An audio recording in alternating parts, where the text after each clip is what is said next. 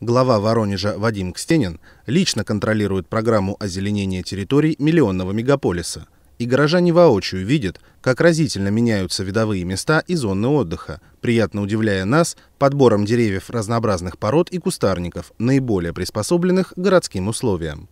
Из видовых объектов озеленения можно отметить следующее. Это участок Московского проспекта от улицы Хальзунова до Лизюкова с посадкой ландшафтных групп из 90-х хвойных саженцев деревьев и кустарников, устройством вертикального озеленения ампельными цветочными растениями 11 опор освещения, а также заменой сухостойных насаждений на 10 крупномерных елей у памятника славы. По улице Героев Сибиряков, где на разделительной транспортной полосе проведена посадка 70 кленов глобозумов. Территория, прилегающая к музею «Арсенал», где выполнено комплексное озеленение с посадкой 12 деревьев, 68 кустарника, многолетних трав, цветов и обустройством газона. Я хотела бы отметить, что э, период посадки и приобретения декоративного вида он занимает 2-3 месяца. Поэтому на данной территории мы ждем результата аналогичного результату на Советской площади. Кроме того, крупномерные саженцы высажены в скверах примирения и согласия, Добролюбова, Мемориальной, в парке патриотов, на территории бульвара Литературной, на Московском и Ленинском проспектах, по улице Среднемосковская, 9 января, Героев стратосферы.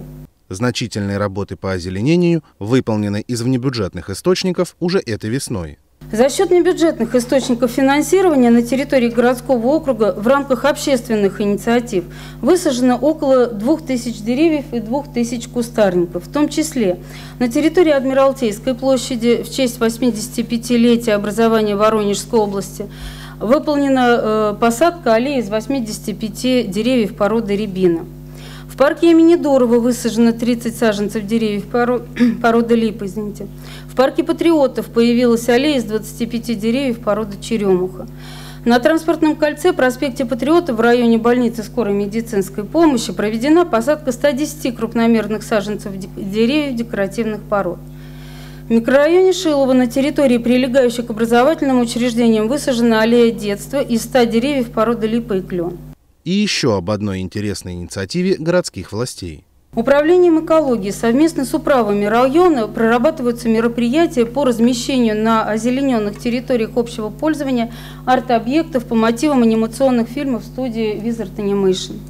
В настоящее время управы Ленинского района достигнута договоренность о размещении арт-объекта Кай и Герда на благоустраиваемой инвесторами части сквера «Энергия» по улице Кирова, 9. Управой Центрального района со специалистами по созданию граффити проработано размещение иллюстраций с анимационными персонажами на ограждении сквера Никитинский. Решается вопрос по установке арт-объекта «Котенок с улицы Лизюкова» в сквере путешественников. Управлением экологии проведена работа с представителями студии Wizard Animation и скульпторами по вариантам изготовления данных арт-объектов. Мэр Воронежа настойчиво продвигает идею более широкого использования при разбивке клумб многолетних растений, позволяющих не только продлить срок до глубокой осени, радующих глаз красочных композиций, но и эффективно использовать выделяемые из бюджета средства. Далее, Викторовна, я правильно понимаю, что за счет того, что мы в этом году активно применяем многолетние растения, у нас в следующем году будет больше средств для того, чтобы еще большее количество клумб и газонов сделать? Да, мы э, в наших планах по озеленению городского округа, той концепции, которую вы утвердили, в следующем году мы большие территории цветников озеленим именно многолетними растениями.